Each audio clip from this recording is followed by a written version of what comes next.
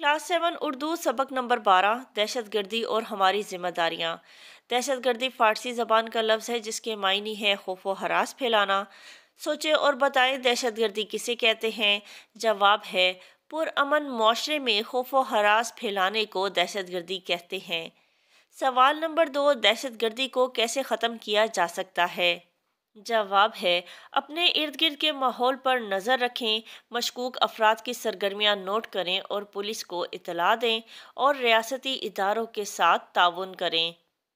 अल्फाज और उनके तलफ़ पेचीदा पेचीदा के मायनी है मुश्किल इसतराब इसतराब के मायनी है बेचैन, दहशत दहशत कहते हैं खौफ को, डर को, मजम्मत मुलामत संगीन संगीन के मायनी है शदीद, जाबाज जाबाज के मायनी है जान कुर्बान करना, जान फिदा करना। दहशत गर्दी क्या है? इस हवाले से पेशतर माहरीन का इस तारीफ़ पर इतफ़ाक़ पाया जाता है। पेशतर कहते हैं, ज़्यादातर को और माहरीन का मायनी है बाकमाल लोग।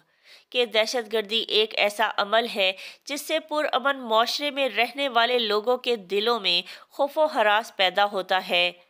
आसान लफ्ज़ों में ये कहा जा सकता है कि किसी भी माशरे, मुल्क, शहर, गाँव, कस्बा, गली मोहल्ला, ख़ानदान के अफराद या किसी फ़र्द में खौफ हरास और दहशत फैलाने का अमल दहशत गर्दी कहलाता है। दहशत गर्दी इनफरादी और इज्तमाही सतह पर फैलाई जाती है। इनफरादी कहते हैं अकेला, तनहा और इज्तमाही कहते हैं मिलकर इकट्ठा नाइन इलेवन के वाक़े के बाद ये नासूर पाकिस्तान में जितनी शिद्दत से फैला, इसकी मिसाल कम ही मिलती है। नासूर वो ज़ख़म होता है जो कभी भरता नहीं है, हमेशा रिश्ता रहता है, उसमें से कोई मवाद जो है वो निकलता रहता है। दहशत गर्दी की वजह से पाकिस्तानी अवाम को जानी माली नुकसान के साथ नफसियाती और जज्बाती इसतराब से गुजरना पड़ा।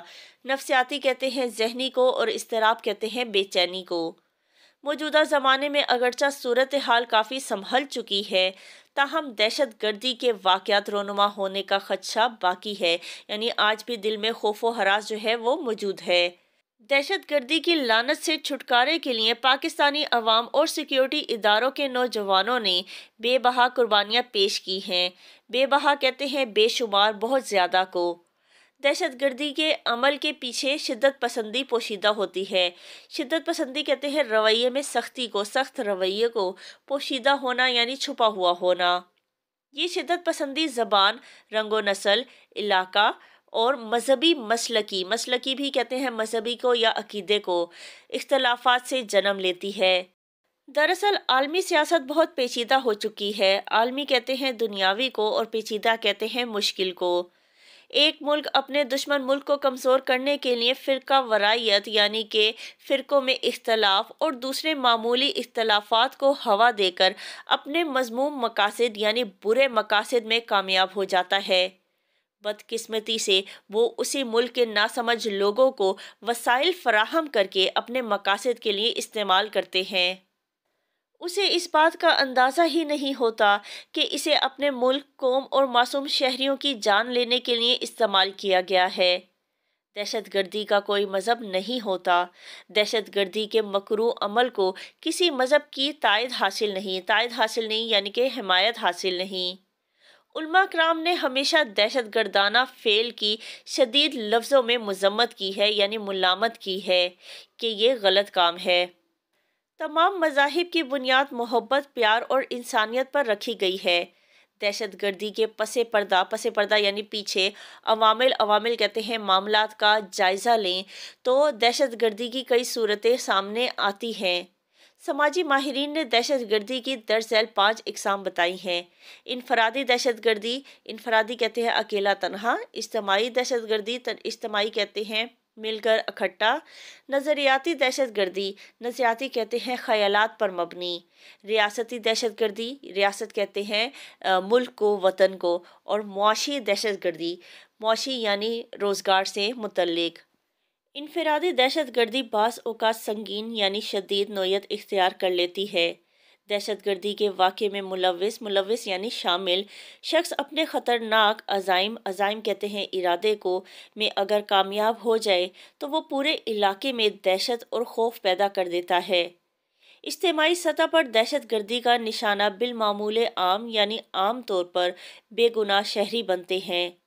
इबादत गाहें पुरहजूम बाज़ार, पार्क, स्कूल हस्पताल और हसास रियासती तनसीबात इदारे दहशत गर्दों का बड़ा हदफ बनते हैं।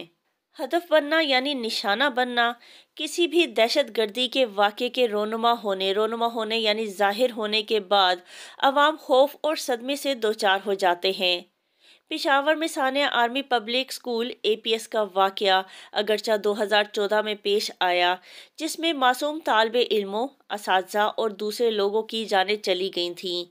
लेकिन इस वाक्य की बास गश्त बास गश्त के मायने है याद, अब भी हर दर्दमंद को रुला देती है।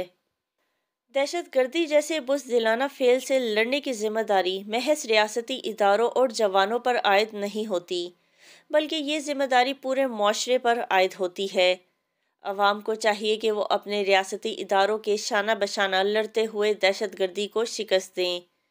अवामुल नास, यानी आम लोग, को किसी भी नाखुशगवार सूरत हाल से बचने के लिए दर्ज झैल एहतियाती तदाबीर पर अमल करना चाहिए।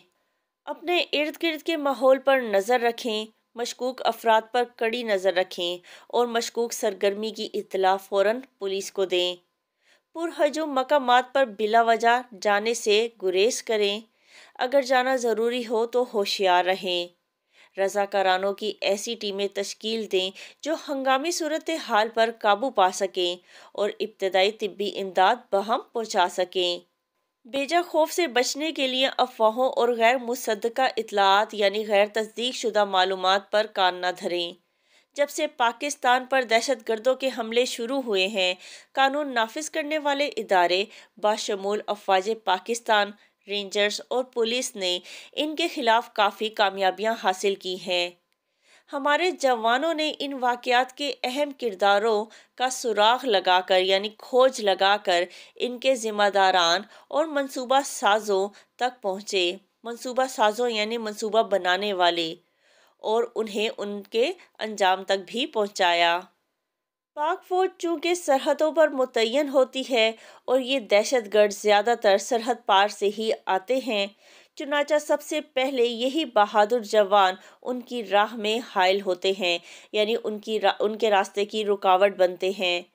बहुत से मौक़ों पर दहशत गर्दों ने फौजी जवानों पर हमला करके उन्हें नुकसान पहुँचाया।